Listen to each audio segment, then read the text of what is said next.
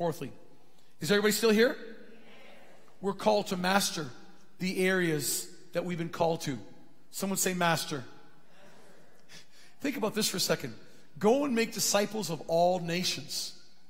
Some of us have trouble getting out of bed. Some of us have trouble overcoming addictions. Some of us have trouble overcoming our temper. Some of us have troubles in our marriages and troubles in our businesses.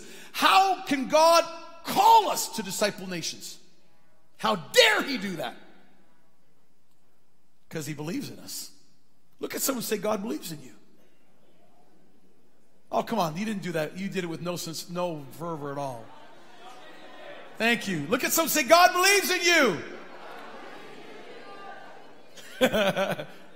you might think this is the stupidest plan in the world, but God believes that you're one of his ambassadors.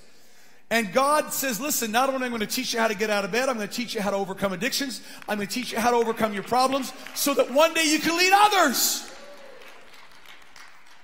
How do we disciple a nation? One person at a time, one business at a time, one school at a time, one industry at a time. But friends, if we're horrible at what we do, how are we going to influence? We got to master our calling. Tap into all the revelations of God to make us better employees, make us better business owners, make us better prayer warriors, make us better moms and dads. We tap into heaven to, so that we can master the calling of God in our lives. That's what making nations, that's what discipleship making is.